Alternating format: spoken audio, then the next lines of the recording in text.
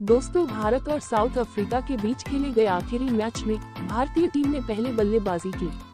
हालाँकि top order बल्लेबाजों ने निराश किया और एक के बाद एक निराशाजनक पारी खेलकर पवेलियन लौटते गए, लेकिन इस मैच में नंबर तीन पर बल्लेबाजी करते हुए संजू सैमसन ने अफ्रीकी गेंदबाजों का धागा खोल दिया और अपने वनडे करियर का पहला शतक जमाया। उन्होंने शतक पूरा करने के बाद खास अंदाज में जश्न मनाया। संजू सैमसन ने चौवालीस ओवर की आखिरी गेंद पर शतक जमा दिया। उन्होंने केशव महाराज की गेंद पर लॉन्ग ऑफ़ की दिशा में सिंगल चुराया और शतक पूरा किया। शतक के बाद संजू ने अपने बाजुओं का ज़ोर पूरी दुनिया के सामने दिखाया।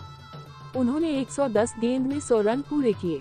इस दौरान सैमसन ने छह चौका और दो छक्का अपने नाम कर लिया। इस दौरान उनके साथ बल्लेबाजी कर रहे रिंकू सिंह ने भी संजू का हौसला बढ़ाया। हालाँकि वे अपनी पारी को बड़ा नहीं कर सके और 108 रनों पर पवेलियन लौट गए।